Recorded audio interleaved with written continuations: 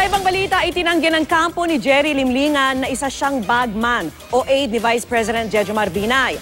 Ayon po sa abogado nilang si Attorney Grace Reyes, negosyante at finance expert si Jerry Limlingan habang management professional at dating profesor naman ang kanyang kapatid na si Victor Limlingan. Kapwa eksperto raw ang magkapatid sa iba't ibang larangan gaya na lang ng stock market at pagnenegosyo.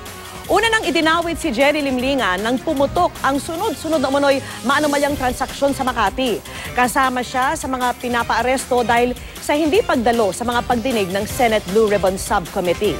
At kamakailan, lumutang din po ang pangalan ng kapatid niyang si Victor Limlingan nang maglabas ng freeze order ang Court of Appeals sa mga bank account ni Nabinay at ng mga taong konektado sa kanya.